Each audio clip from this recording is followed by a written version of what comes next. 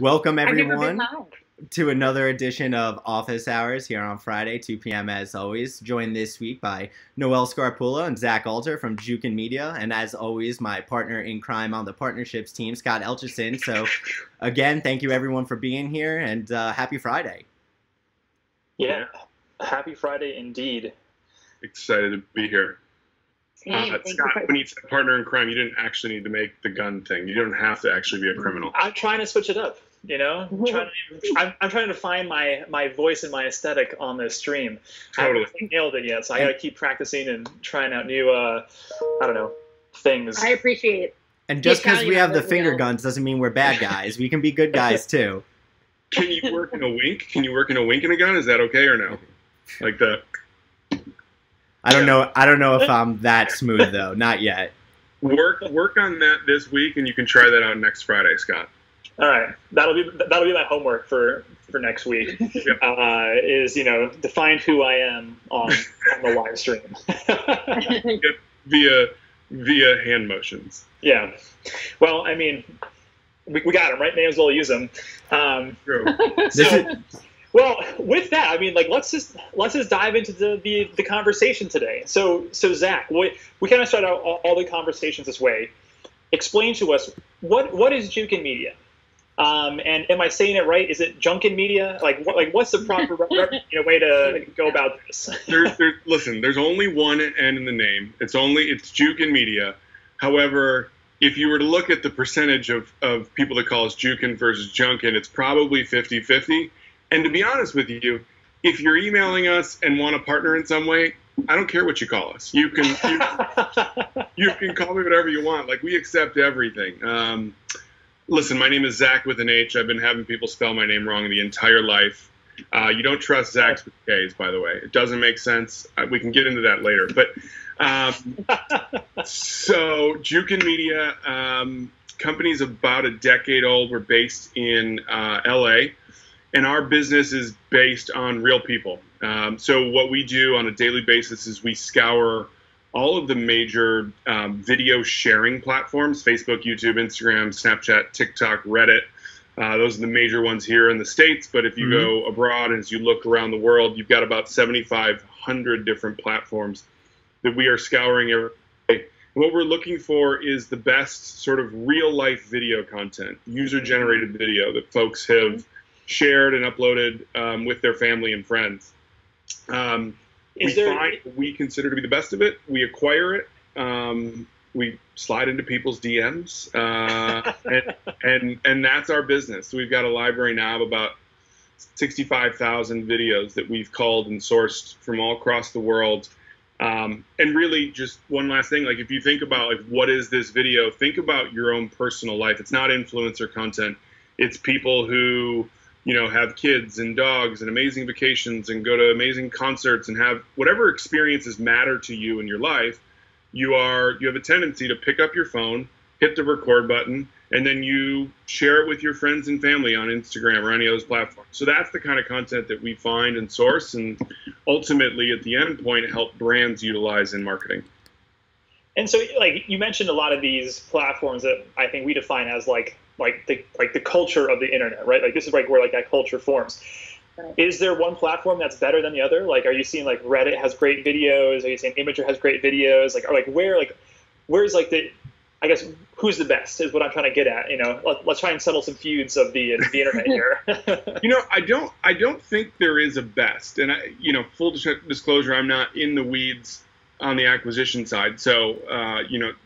It's an, actually funny enough. It's an incredibly manual process. So we have like a base layer technology, but there are there's a team of about 50 soldiers that sit across the world and so literally 24 7 365 so i imagine that question would probably range country to country Mhm. but it, what is interesting is the types of content that we are seeing shared on different platforms right like for example and, and probably not totally surprising snapchat and tiktok is like where where like where the weird stuff lives right Well, Uh, define. So how, how do you define weird?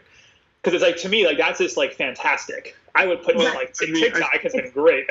we can all tell by your mustache weird is fantastic in your world Um, True. All right. Sir, return, good sir. and, and it actually, well, we have some data that we just uh, called in terms of where, you know, the type of COVID-related content that people view.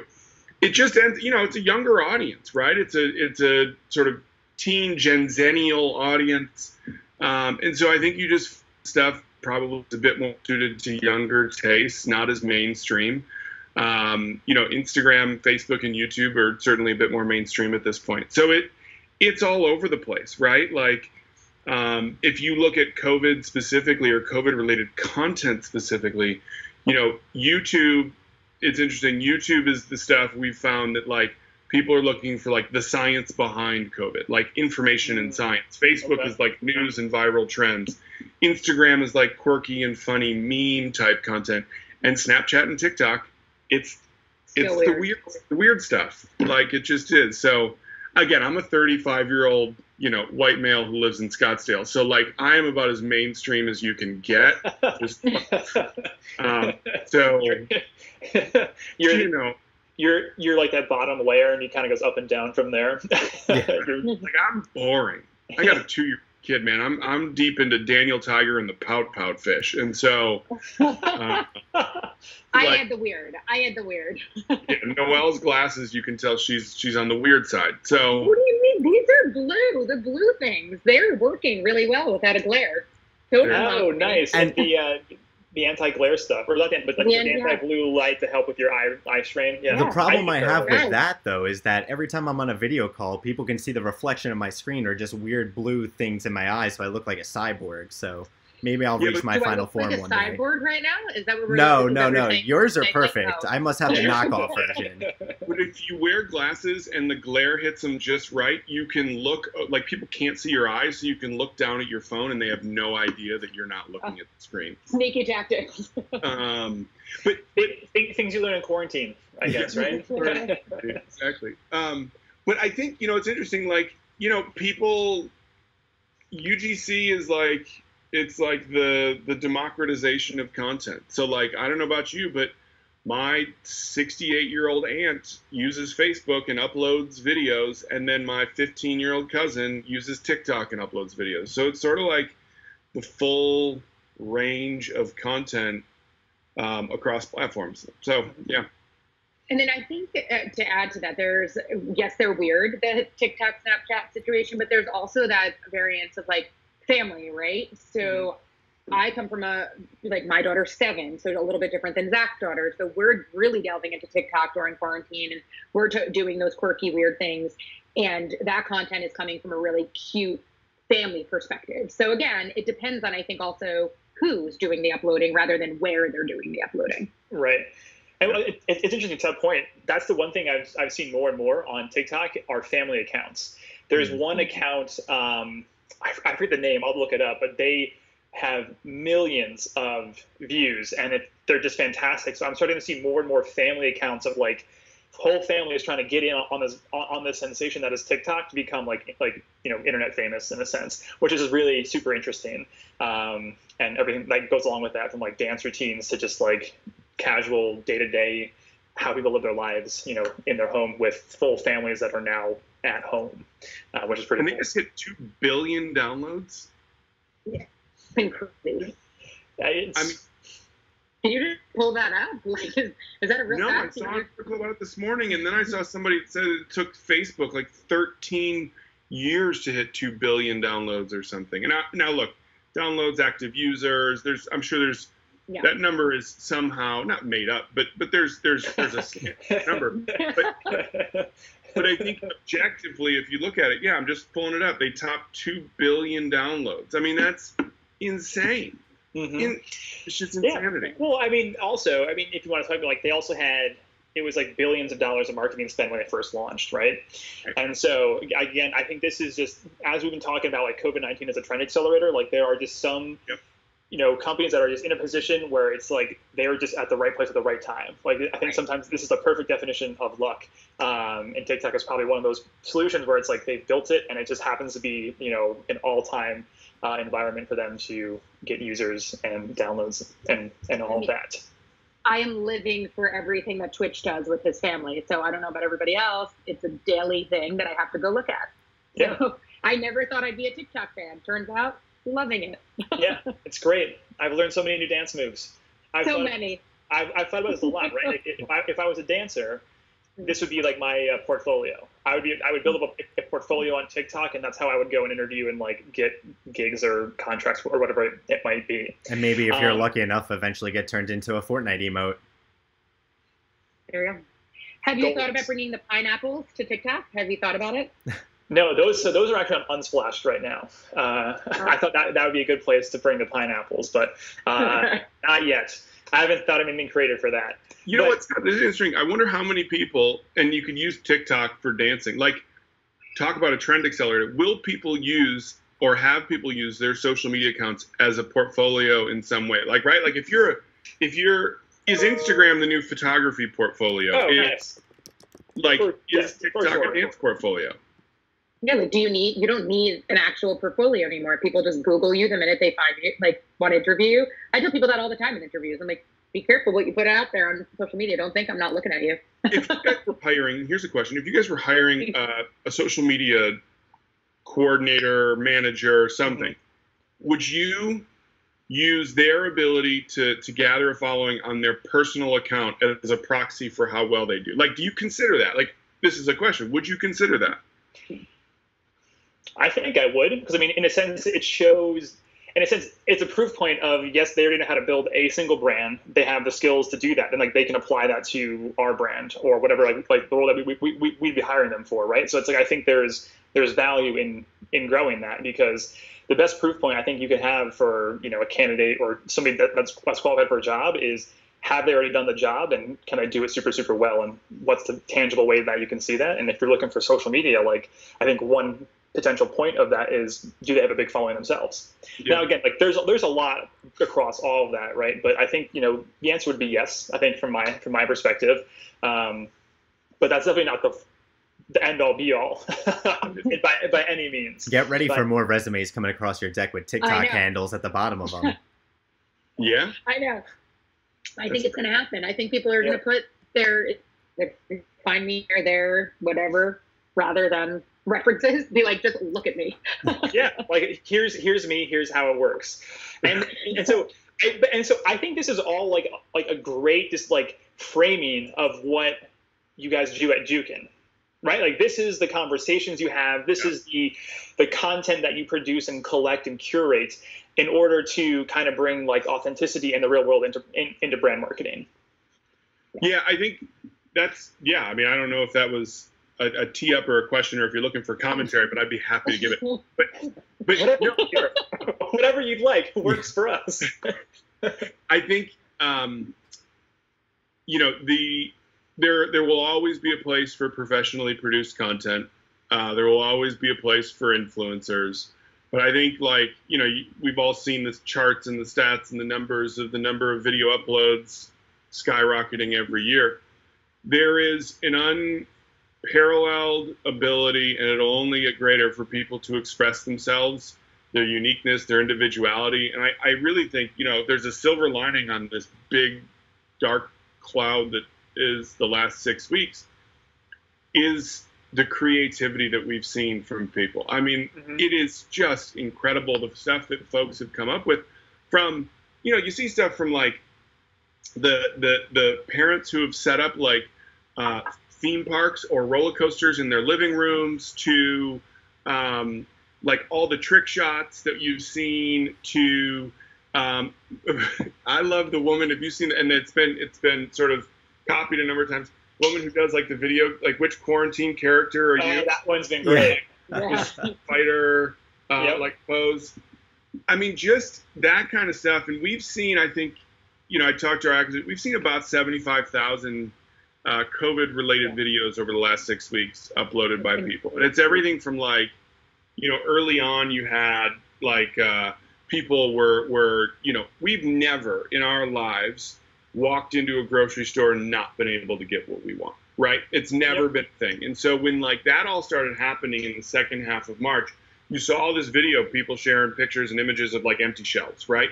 So it's stuff like that through to like, you know, people doing balcony performances. It sort of started in Italy, I think, was like the first wave of those balcony performances. So I think for us, uh, sorry, my two-year-old is just having a blast in the background. So if you hear high Oh my pitched, God, that was amazing. That Yeah. was a. I would give that like a mezzo soprano up here. She's doing Yeah. Must be watching the stream. That's the only thing that can elicit that kind of reaction. she heard me Yeah, talk. that was it. She saw Daddy on TV. Yeah. She saw She heard me on, talk about Italian uh, balcony opera singers and thought she'd try out. Um, that is the beauty of what our business is. Obviously, over the last six weeks, but for years before this, is we find the best of what real people are creating, and I think it allows us to get a you know a step or two closer to what what's actually on the minds and hearts and creative, uh, uh, you know, palettes of real people. Um, so it's it's really cool. It's really interesting, and I think the other interesting piece about you know what we're going through and you know the jokes are already starting to be made is like every covid ad looks the same Mm. Mhm. there's a video i think there's a youtube video every covid ad looks the same it's like uh, serious piano music followed by videos of real people and uh, the words unprecedented times um, we've actually worked on a lot of those so it's a lot of our content facebook so Wall- so you're so you're the reason that there's like continuity across Yeah. every single. Yeah uh, Everyone is speaking the exact same language right now, thanks to us. right There you go. So- exactly I think it's the, the the point is is like yeah there's there's some homogeny there but but it truly is there there is and I, I wrote this in a in a presentation but there is I don't know that there's ever been a time in our in in a life in our life where marketers have the opportunity and the responsibility to be globally relatable. Sure, not everybody is experiencing the same thing. There's different levels of people's pain from this from this uh, pandemic. However, it's impacted everybody. Everybody has felt it, and so I think there's a really unique moment where marketers have to be. They have a responsibility to be authentic and relatable, but also they have an opportunity to relate to everybody like they never have before. So Mhm. I, I think that's a really interesting point, being globally relatable, and I think that Jukin's uniquely positioned to help brands, you know, make those relationships at global scale. So can you guys just talk about a little bit how brands work with you, and what are some of the most useful applications you've seen in your tenure at Jukin? Sure, sure, sure, sure. So there's there's a couple there's sort of two or three primary ways that, that brands work with us. The legacy of the business, and still a big part of the business, is we work with creative agencies and creative teams at brands who utilize uh, individual clips from our library in spots, right? So if you've seen the Facebook Never Lost, the Walmart uh, Lean on Me right after Bill Withers passed away, uh, Cox Communications, P&G, Hefty, there's a bunch of them. Um, they're licensing those individual clips. They've got a production team that's putting them together. Um, so that's one side of the business working primarily with creative agency.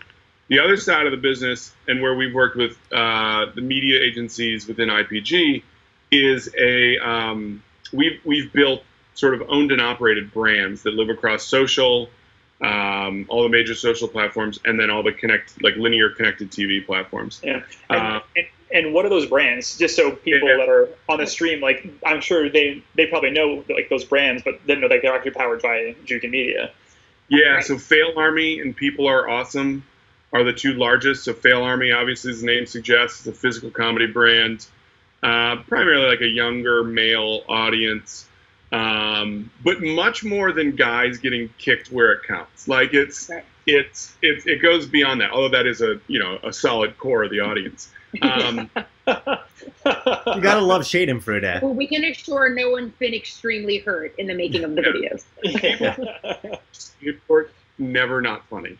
Um, so that's Fail Army. Um, the opposite of Fail Army is a brand that uh, our largest brand is actually called People Are Awesome, and that's all ordinary people extra- doing extraordinary things, incredible talents from athletic and extreme sports to dance and art, and just really it'll make you feel like you've accomplished very little in your life, um, but you'll be inspired to do more. do, any, Um, do any of them have a live stream? I don't know. I think that's one up for us four right here. that's true. And That's that is true.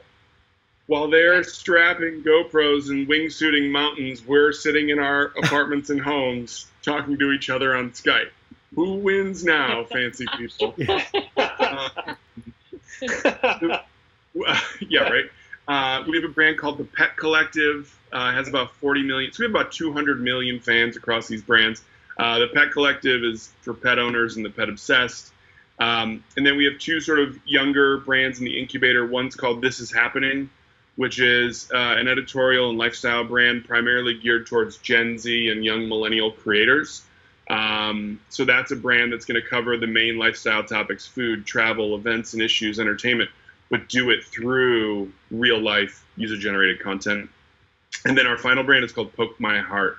And that's your soldier reunions and gender reveals and all the sweet emotional stuff that, like, even in your darkest day will make you choke up, even when you don't want to, like when you're in front of your buds. Uh, don't watch that. Um, so five properties. Um, they're sort of born and raised on social, Facebook, YouTube, Instagram. Now have I think almost six million followers on TikTok across those brands. So really explosive Nice. growth there.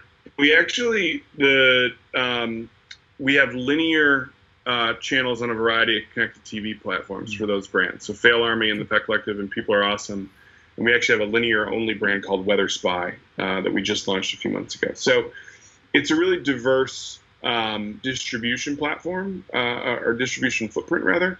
Um, but yeah, and, and what we interesting what we found is like again back to like the relatability and sort of universally um, I guess relatable uh, nature of this content is everywhere those brands go, like people love them and people watch them just because it's the content. You know, it sort of is a glimpse into your own life. Yeah. Yeah. the um, for me, you guys always get me on Snapchat. That's where I always peek to like people are awesome and uh, and and fail army. That's where I'm always like getting you know introduced to like to, to that to that content. So like that that's great. And then so we have these brands, you know, that are, are kind of all UGC and how it, how it comes together in in that standpoint. And then so like what are the actual like ad opportunities? Like what, like let's get to like the nitty gritty here. Are we talking 30 second ads, 15 second pre rolls? Like where and how do you, like does a brand place themselves into this content? Yeah. So the easiest sort of so like yeah, from easy to complex is like I said, creative agencies. We're working licensing them clips. Um, we have a robust media sort of pre-roll, mid-roll offering. So pre-roll on our YouTube channels, mid-roll on our connected TV uh, channels. That's all long-form content. It's not just UGC, but we've licensed in third-party content like traditional TV and film content on those channels. There's about 350, 400 million monthly video impressions available directly, Hmm. programmatically. You know, if you want to get nitty gritty, 95% viewable, 95% Yep. rate. Bring, Like, bring. This is why we're here. Like I want to eat this stuff up. Yep. Yeah. yeah. um, Feed the brand. you want me to pull out my spec sheet? 64. My yeah. spec sheet in front um, Times- ePay, times ten fast tags, all the tags, all the verification platforms. Um, so no, it's it's premium um, video, premium mid-roll, pre-roll, um, device agnostic across all platforms, which I think is really interesting. Uh, the connected TV piece for us is not something that we've stood up overnight. That's a three or four year endeavor. We just won Digiday Award for Best Publisher Pivot to TV. So that's a big part of our offering. Hmm. Congratulations. Thanks. Um, and then the other side of our business is a branded content business. So again, super authentic, relatable content, uh, or clips or videos. So we are creating whether it's originally shot, which is obviously for everybody on pause right now, but but we create branded content utilizing UGC as the core of it um, that brands can integrate uh, with, and then we distribute that across our channels. So um, I'll give sort of an, an, an IPG shout here. Uh, last fall, like Q3 ish last year, we worked with the Coca Cola team on a Powerade campaign. Okay. Uh, so Powerade had a sort of a, a, a Gen Zennial, multicultural teen and young adult uh, target. I love this new word you're using, Gen Zennial. Yeah. He didn't make it up. We thought he made it okay. up a while ago. He did not. did- I think it might have been the Powerade team was the first person I heard it from. I, They Yeah. Uh, they used it. We googled it. Apparently, it is becoming an industry term. But we're gonna we're gonna say the Coke team made it up, and somebody overheard, and then it all went awry from there. I love Yeah. all the clever Well, age the classifications we've No, developed. Glad to have you here to fact check Zach on all his stuff. so. I know. Well, I mean, can't get a word in edgewise, so I'll just fact check it.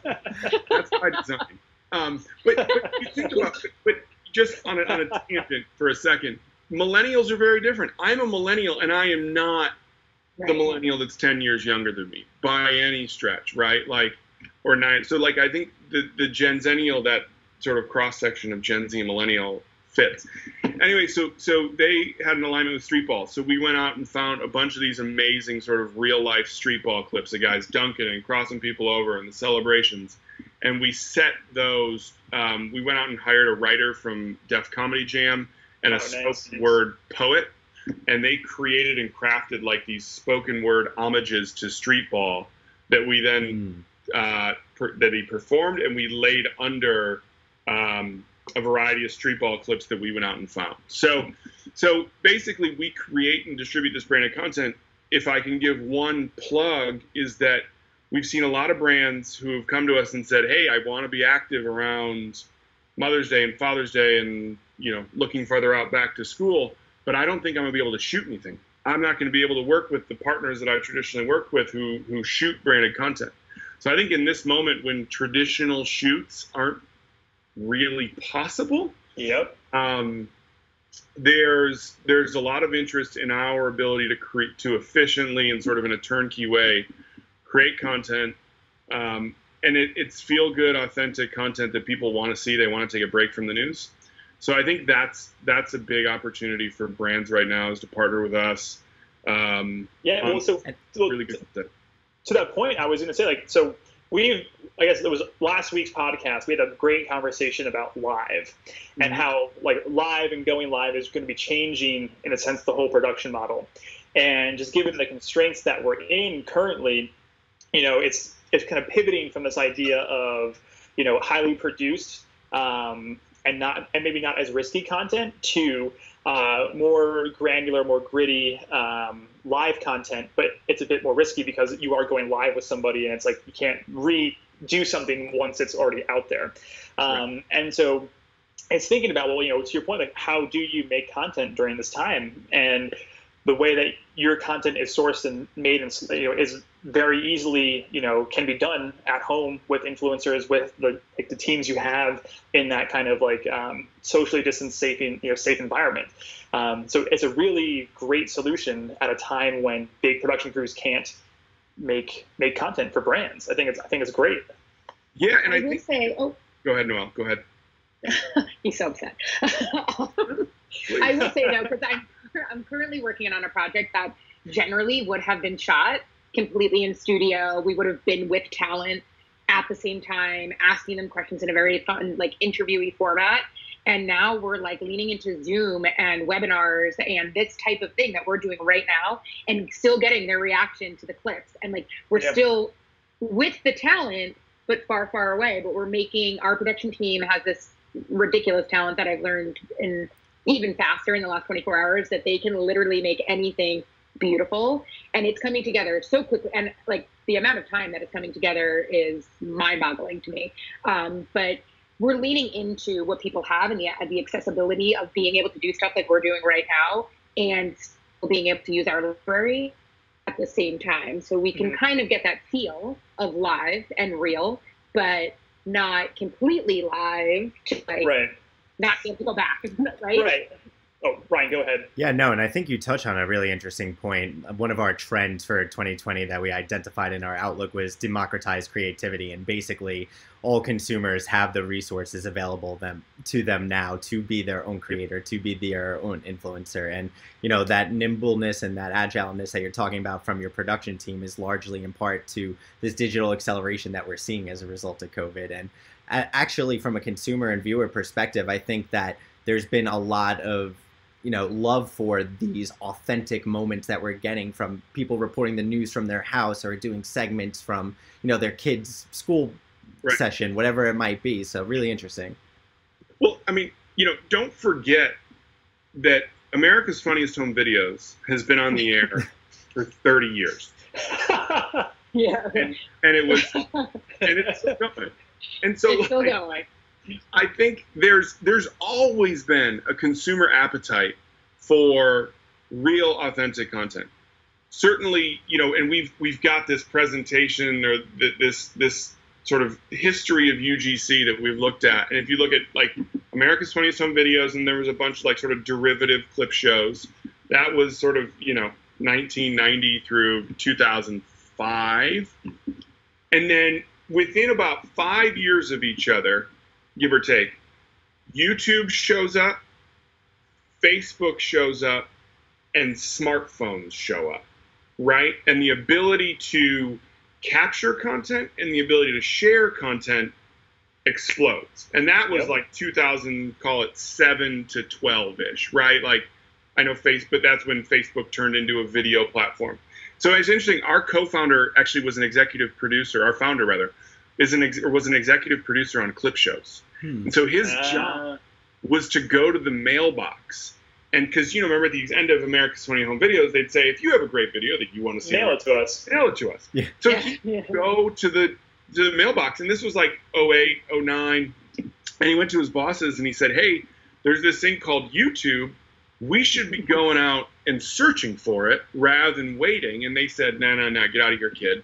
And he was like, "All right, I will gladly get out of here, and I'm gonna." Go start my own company." and so that's what he did. That was the the the genesis of of Jukin Media. And so I think Ryan, to your point, is like, I think now, you know, it's just the, the, the explosion has only continued, but I think there is the the democratization of content, the ability, the willingness, the ability to, to be who you are on the internet. You can be the weird guy with the mustache who loves pineapples. uh, And and I now have a sleep podcast, so like just work that into my ever growing portfolio of uh, Um, weird internet accomplishments. media, media Jack creation. of all trades. Jack Uh, of all trades. You, you really are. So I think I think that we are we are at this moment where the ability's been there for a while, the willingness has been there for a while, the technology has been there for a while, but now there's nothing else, right? Mhm. And so now we are seeing people um, truly explore their creative creation abilities. You mentioned earlier, I don't know if maybe this is the TikTok account. Have you seen the family who does the family Olympics, like the quarantine Olympics on TikTok? No, I have not seen that yet. new like challenge every day. It's brilliant, and it's like three teenagers and their parents. Like it's not. It's it's just really interesting. The, the sort of the coalescing mm-hmm. family. unit. It's just it's it's all really interesting. Right. Yeah, and but that's like I think you know this is and this is what we're like like that trend is like again accelerating where we we see it in the consumer side of things, but it's it's starting to translate rapidly to like the enterprise side of things, right? Like it's it's very acceptable to just like give somebody like the latest iPhone and it's well the newer iPhones are potentially going to have like you know 8K and 4K recordings, and then like actually like record in like the the like the, like the sound wind or the sound profile, I guess that like major theaters produce and put movies in, right? So it's like it's a professional device. So, like we're seeing that translate from like consumer focus to enterprise, um, and I think it's a it's super valuable, right? Like this is going to like completely change how people make content and make and, and make it like um, I guess relevant. And I think the one thing I've been thinking about is it's like now is it's just like having content that is native to a platform is super important and it's like more relevant than ever, right? Like the idea of not just making it like like a nice ad and inserting it into a platform, but like recording from like the core voice of what that platform is and how it works is just like I think it just brings your message across more authentically. Um, I think that's something that we've been talking about for you know like like a year or two, especially on Snapchat, because I just I never I didn't like when I got like like, like a hard stop and it was just like a like it was it, it was like shocking uh, Yeah. when you saw like one of those ads come by. But if you get it filmed like you know from somebody that has an iPhone or you know like a GoPro like and just puts it in there, it's just it's just more natural. It fits better. Um, it kind of it, it feels like supportive versus like interruptive. Yeah, it, it's really interesting. I actually saw, yeah, 100%. I think utilizing content that's native on the platform. I mean, native. You could just say the word native four times and it makes sense, right? You know, like yeah.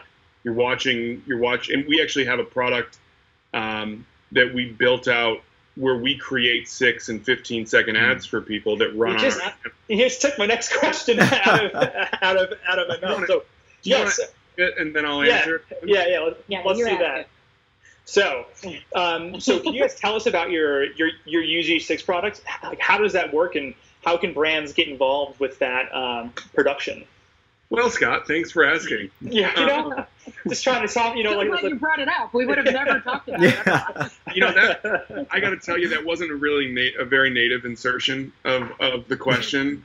Well, Um, we're live, baby. You know, it is what it is. anything can happen. We've discussed Yeah. it. There, there's some grit on this show.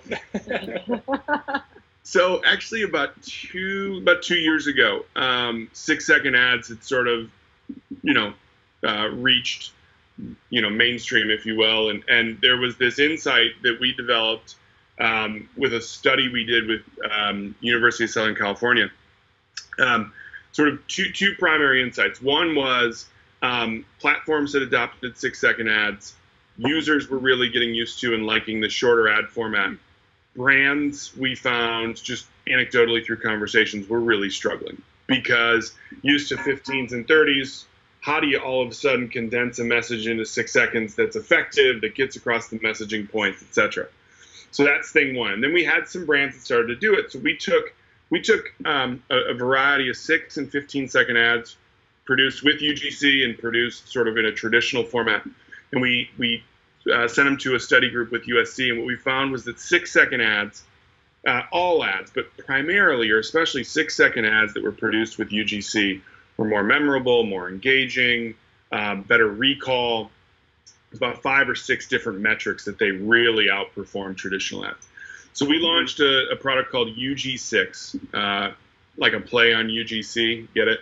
Um, but basically, right, right over my head on that one. No, Thank, it's lead thank God he speed. cleared that up. Thank God he cleared yeah. that up. Yeah.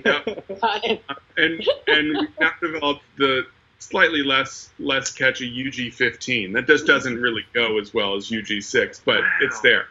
Um, but effectively, UG6 is a product where we produce six second ads utilizing UGC, utilizing clips from our library, plus obviously brand assets, logos, messaging points, all that. Um, those turn into quick, very efficiently produced six second ads. So you're a dealing with a, a content type in UGC that's instantly impactful, right? You see you see a baby do something cute, you don't, or you see a baby giggle, right? You don't need to know what's making them giggle. You just know babies giggling get you. You see a guy run into a, a, a, a sliding door. You don't need to know why he was walking outside. It's just funny. Um, so it's instantly impactful content, incredibly efficient to produce. So you sort of solve for the um, the issue of brands not being able to sort of uh, uh, effectively deliver a message in six seconds. You solve for the ability of not having to send a team into a studio and expensively produce a six second ad. Um, we then run those as media on our aforementioned channels across social and OTT. And then the brand gets a license to use them across their social and digital platforms and in their digital media buys for three to six months, depending on how long. So it's a really incredible uh, uh, offering. We've we've worked on it with everybody from Marriott and W Hotels to Walt Disney World to Kraft. Um, so it's it's been utilized in a variety of um, industries, um, and we've found really really fun and great results. And um, the one last thing I'll say is, and and we've talked to a couple of the folks who who work on the dynamic content team at UM.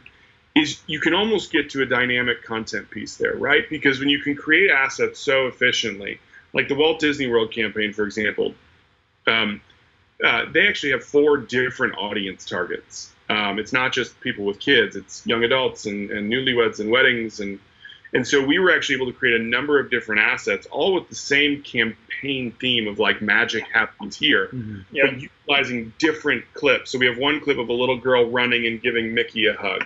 That's obviously for parents. But then we have other clips of people who are quite obviously on a bachelorette party flying around one of the roller coasters. Yeah. Um, listen, I don't get people who go to Disney World. For, got what you're saying. But we I- could be offending the millions Hey, of people that I went there watching for right spring now. so- break. I'll have you know. I went to Epcot. It was fantastic. yeah, no, but ba- see that I get though. I get Epcot. I went to Epcot just recently with my daughter, and I was very jealous of everyone participating in around the world and the food and wine festival. So I get Epcot, but like, no, I don't think on my bachelorette party, if the day ever comes, do I want to be going on the Tilter Tilt-A-Whirl? Or, or taking know, a guys. safari through the animal kingdom. Teacups, teacups, teacups see, is what I meant. Have you been to the new Star Wars section of the parks? Uh, I know. That was that's it right there. Very I, time. I, May the force be with you. I am It's thrilled and excited to take my daughter when we, you know, when the time comes. She's probably a little young, but point being is is Disney is one of those universal places that that people enjoy, but people the marketing for it has to be different. You can't Mhm. reach Right. Scott with a message about, you know, taking your kid to Disney. So what we did with them is we created a number of assets. So what we're doing with brands is we can say we can create six, eight, ten different assets, same messaging. You plug them into your buy with us and with others, targeting seg- segments of your overall general audience target, and you can get to a dynamic, creative uh, uh, place. So it's it's really interesting. It's something that, again, again, I think in this environment has a specific amount of relevance to brands. So do you do you think this desire for dynamic content and you know the rise in popularity of the six second ad is going to be the death knell for those longer forms creatives? No, no, because we've been talking about that for ten years. Hmm. Um, no, I think, but I do think to Scott's point, it'll become more platform specific, right? You will see big cinematic pieces on big screens. You'll see more user generated, uh, uh, built pieces on the social platforms. I did see something funny. You know, the the Facebook never lost ad. If you, you guys, everyone's sort of seen it. Their COVID response Mhm. ad, and it. I Um, don't. I don't think I've God, actually. are you saying no? I feel I like don't the think entire seen world couldn't avoid it. Well, you should watch it. I cried twice, and I, I knew it was coming because we made it. So I was like, I Humble brag, I guess, right there. we didn't make it just for legal purposes. No, for legal purposes, we didn't make it. There are clips. Droga Droga did an incredible job of making it, but we, we contributed a bunch of clips. But what what was really interesting about that is, and universally, I think it was like two thumbs up. People liked it, but I saw somebody on LinkedIn say, you know, Facebook has been telling brands and publishers for years, shorter content. Make it quick. Don't put your brand in the first three seconds. That's against the rules. And if you look at that ad, it like goes against all the rules and best practices that Facebook has has delivered to people. Um, so that's just a funny anecdote. But I do think Ryan, you'll start to see just I think it'll allow brands, and you've already started to see it, right? Who are tailoring message for the platform. Um, but if you think about six seconds, what we hope we will see is that brands won't just cut down 15s and 30s into sixes. And I don't care if you use us or not, but shoot specific six second ads with a specific slant and angle to them. Um, don't just cut down 15s and 30s because that has the probably the lowest chance of, of Mhm. working. Well, that's some good insight. You, Ryan, you want to hit that wow insightful button? Oh yeah. Wait, hold on. Can I video this so I can show my wife?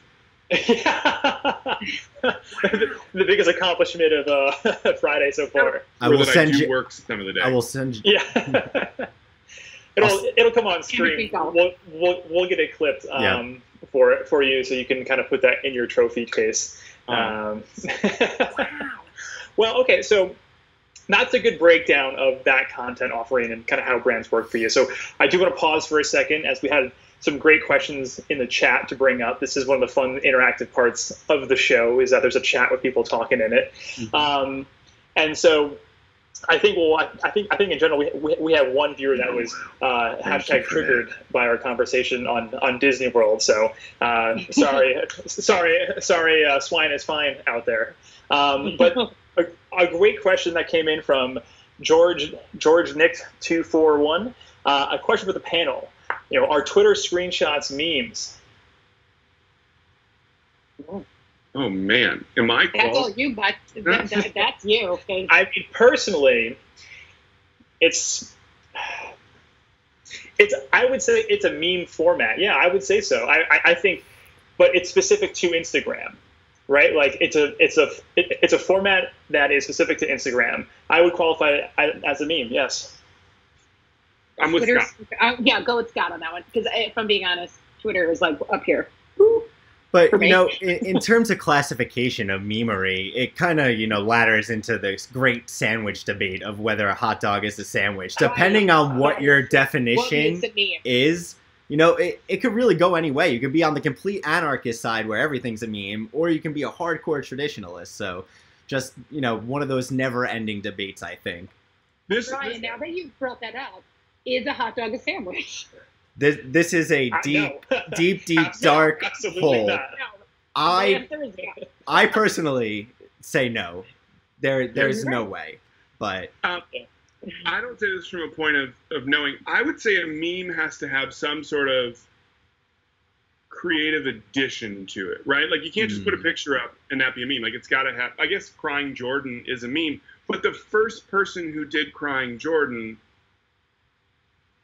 yeah, I don't know. It's interesting. So I think the creative format has evolved from like advice animals and like the rage comics to more of like a scenario happening and then applying that scenario into like a new conversation. Right. And so like there is some remixing that is now like like like involved about it and there are so many different formats, but I think it's now a like a classification of like social commentary and you know content that is on um, you know social channels because I would say like you know you know I guess what is it like all content are memes but not all or all memes are content but not all content are memes is like the best way to describe it. It's kind of like one you're of talking like It is, where- you're memeception right. right now. yeah. Yeah. Scott, you did well on the SAT, didn't you? No, no, I did not. Um, and so we have another question here. Well, we kind of talked about it. Should, should are memes considered art? Some of them, Yeah. I'd say for sure. Yeah. Yeah, I think I think democratization of content and art, right? Like, Yeah. Listen, there's some stuff that is actually considered art that I don't think is art. right. I So- duct tape banana down in down in um, Art Basel. That one, Right. that one. Yeah. So yeah, absolutely, memes are art.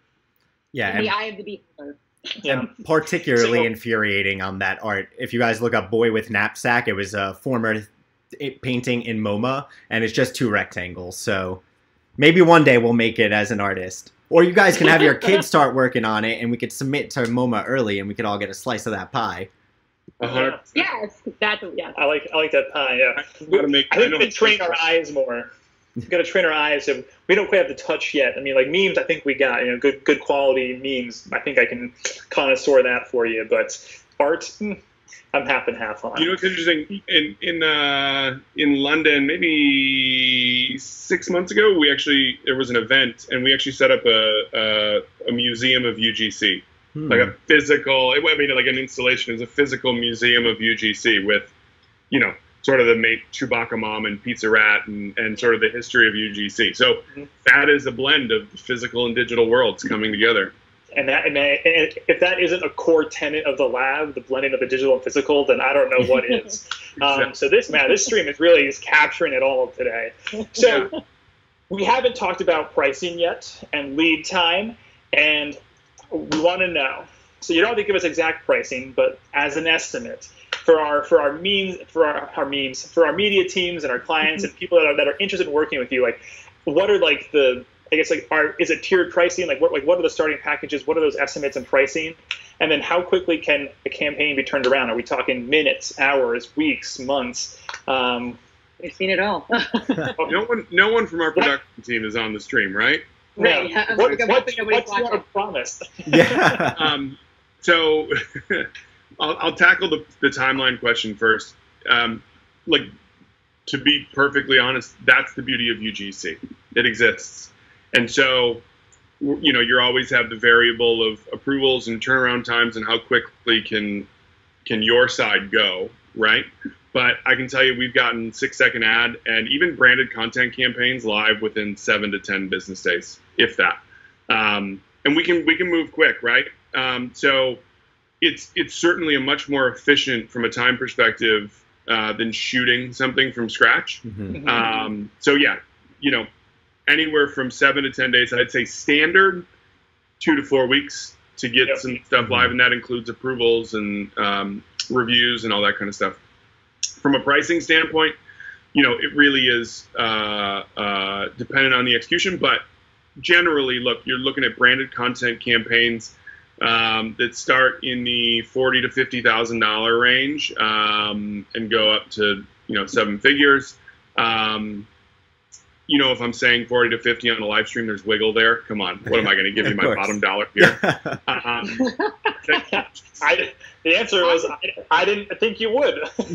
um, uh, UG6 um, from you know because we talked specifically about that. Those packages start at around 50k, which gives you um, a couple assets and then media across our channels. And then if you're looking at media across our channels, you're in the sort of low 20s CPM wise for um, for pre-roll and mid-roll, you know, standard 15 second placement. So yeah, like you know, I can I can tell you more. Like our our summer sponsorship packages, Mother's Day, Father's Day, back to school are in that 100 to 200k range, and that includes two to three pieces of content plus a bunch of media. So there's, you know, we sort of build it based on what you guys are looking for. Right. And so as we, because uh, I'm, I'm, I'm watching the clock here, and we've entered the the last 10 minutes of our, our conversation, which to me wow. feels like we've been talking for all of five minutes. Um, so this so this has been so fun. Wow. Yeah, right. My workouts flew by like this. I, I, wish I was working out. Yeah. I stopped almost immediately once once once quarantine set in. Um, oh. So I guess like looking at like so in this deck that you had sent over that we kind of like looked at previously, like there was like trends or content trends that are happening. Mm-hmm. So a, a, as you're starting to see more and more, you know, memes and content be developed, like is there a like what is like I guess like the sentiment that you're seeing in, in this content? Is there anything from like there was like maybe at the start it was more um, concern and worry and trying to figure things out. And now we're maybe moving more towards like a like we understand it or like we're, we're at a, like a new normal. Like, are, are there any like kind of like themes across the content that you're seeing? And then you know on top of that, like what new maybe formats or interesting things are, are starting to happen or circulate that we should be aware of that I can potentially capitalize on this weekend and grow my following on TikTok. Is this a personal question or a professional yeah, question? this is a personal so, question for the last 10 minutes. Half, yeah. half and half. So, look, I don't, yeah, I, will answer that in two parts, right? One is there's sort of um, overarching, ever present themes that we've seen sort of. So, if you look at, if you look at this, um, you're, you're looking at about a six week stretch. I think March 15th is I sort of look at. I don't know if that maybe the 16th was a Monday, but that was sort of the first day that businesses, non-essential workers were home, right? So you're really looking at a six-week uh, uh, uh, period where lives lives globally have changed. Obviously, the disease started before that. I'm not trying to minimize that. So, but if you look at the six-week stretch, you sort of we sort of bucketed into sort of three two-week periods and looked at the specific trends that that sort of came and went, and there's about a five to ten day lifespan hmm. on these specific social trends. But I think throughout, I don't think you've seen like generally at the beginning it was worry, and then it moved to like fun, and now it's about I don't know survival or whatever. I think you've seen a mix of fun and and and sentimental and concern and appreciation for for essential workers and healthcare heroes they just manifested themselves differently. So, for example, mm-hmm. in the first sort of few weeks, uh, a couple weeks, you saw the Wuhan Shake, I think, was started as a TikTok uh, dance challenge, mm-hmm. um, and that was obviously there was there was sort of some some utility to that because I think it was teaching you how to you know keep your germs away from yourself.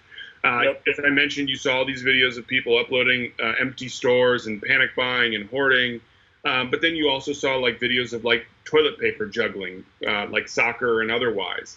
Um, so you know you have everything there from fun to, to fear to and, and serious topics to like balcony performances. People going on their balconies and shaking, which that was meant to be like heartwarming and, and mm-hmm. community driven and uplifting. Um, you know, sort of as you move forward on the the trend timeline, you had like the push up challenge, right? Again, mm-hmm. like the, I think it was C10, give 10. I didn't do it. I'm with you, Scott. I, am Wait, I'm, this is funny because I totally tagged him in the challenge. Like, you know me. he was like, "You know me better than that. There's no way I'm doing it." I was like, "Come on!" I'm, I'm riding the hell out of my Peloton, so my yeah, are in great shape, but I still can't do 10 push-ups. Uh, biceps are overrated. I think push-ups work. I don't know. Whatever. Um, it's a full body workout, but it's, it's all good. my single favorite trend, or my single favorite. Have you guys seen the people um, who put on "In the Air Tonight" by Phil Collins, and yes. they open up their they, slap, they slap all the cabinets and the drum solo. Like that to me is my favorite one. That came. So you see, I think there's these doses doses of creativity and heartwarming moments and um, education and, and, and sort of um, you know people getting to know one another, getting to know themselves.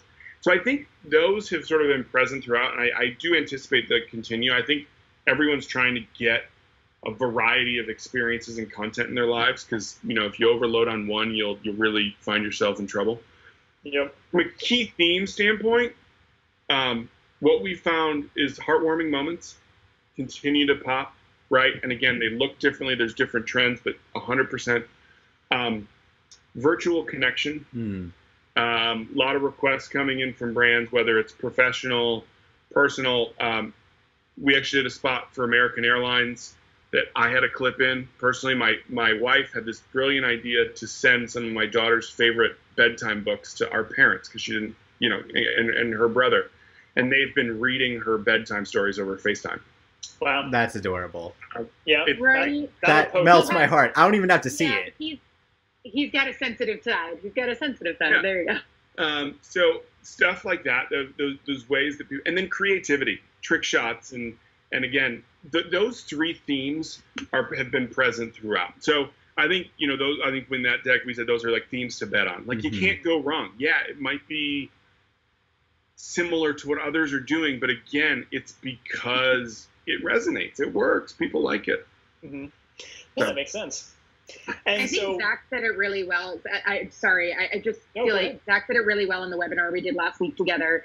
Um, that all of these trends are super important and to follow them and to be a part of them as a brand, but to stay in your lane as that brand. Like don't you don't need to you don't need to change who you are in order to fit the trend. Find the trend that speaks most relatable to your brand and you will win every time because that's what the audience is looking for, that you understand them and you're still doing the thing that we want you to do for the brand or giving us the service or the product that you would give us anyway, but you also are not ignoring what's happening. Right. right, Yeah. Yeah. that makes sense. So- Well, so I would love to have said it was me, but it was Zach, and I just got to say it on this one.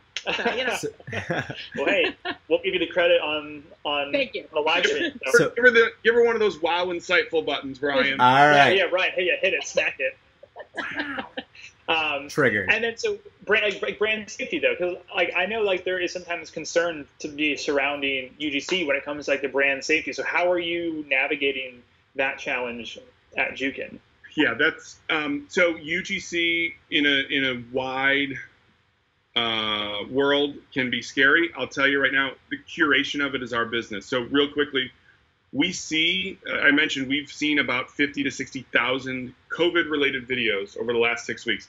We've acquired about five hundred, and that goes for everything. So we we tend to acquire about 150 to 250 videos every single week while seeing about 30 to 50,000 every week. So brand safety, if you look at our sort of acquisition criteria, it's quality, it's emotionally compelling.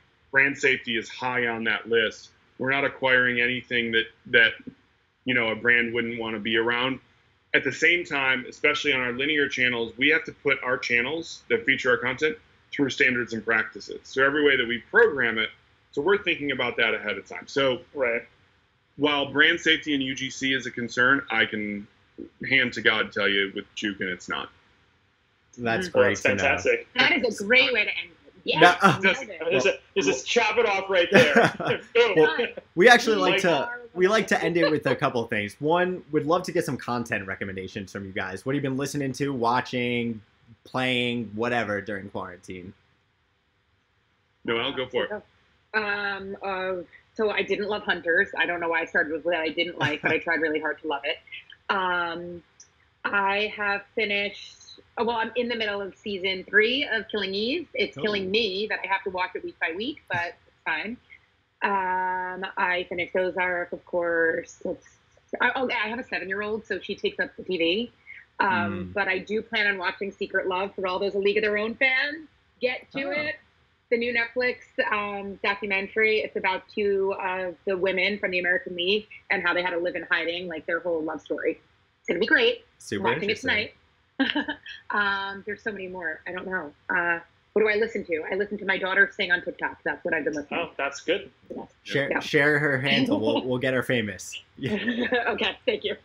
Um, for me, uh, listening uh, in a sentimental mood by John Coltrane. That the the radio station that's attached to that song in Spotify. I, I'm a jazz listener, especially when I'm working.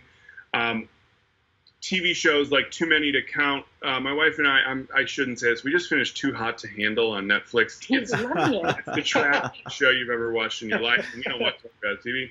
We did Hunters. We just finished Homeland. I thought the ending of Homeland was great. Ozark. Um, and then the one recommendation, um, I just filed this yesterday. I'm a golfer. I love to play golf. Hmm. There's an Instagram account called Beautiful Golf Courses, and it's it's just images, uh, amazing sort of like drone type aerial footage, Oh, uh, but cool. just incredible golf courses. Uh, it'll it'll give you some serious FOMO, but it's just a nice little reprieve from my day. So shout shout to the beautiful, and we don't even own that. Uh, That's not. Oh, a, there you that's not a- there's no intent. Soon. I will say if you want to But I follow anything on TikTok, you- to follow on TikTok if you need it, you have to follow Twitch in his life. It brings every joy to the world in every aspect of life. So for all those that are Ellen fans, now Twitch fans, watch him and Allison, and your life is And point of differentiation: Twitch, not the platform. People, Twitch, the former America's uh, "So You Think It Could Dance" Oh, contestant, who's Yeah, Ellen's like- DJ. yeah. Yeah. He won, and now he's awesome, and the dad, and all the things. So, Well, awesome. I think you should pay me for that endorsement. yeah. we, well, got, we, got, we, got, we got we got a large focus audience here, so. I mean, I think you know it's that like that can be arranged. Well, so we are we are at three o'clock. I want to end on these last three questions. These are three questions that we we ask everybody, so it'll be super fast, super quick, and they are. So again, what does it cost to work with Jukin? What is your size, and what is the lead time? It'll be rapid fire. All right. Uh, 200 million fans across social and connected TV. Um, lead time, we are, you know, anywhere from one to four weeks to get something live, depending on how quick you and your client want to work. And cost, um, we have media media opportunities starting at 25k and content opportunities starting at 50k. Fantastic. amazing. That was great. Call Well, me when you need all of those things done for you. yes. Yes. Absolutely. Well, so to all of our viewers and everybody in the chat, thank you again for a fantastic Friday afternoon. Uh, we'll be back again next week, 2 o'clock, 3 o'clock, same time, same place, uh, different people. So it'll be great. Um, and if there are any last questions in the chat, no, I think just one comment from American Gro- Gooner 12. What about some love for some Miles Davis? So, um, Yeah, Let's love, let's love. love Love Miles. With that, thank you, Scott. Thank you, Noelle. Thank you, Zach. It's been a pleasure. Everyone, we'll see you next week. Thank you guys. Later. Thank you, everybody.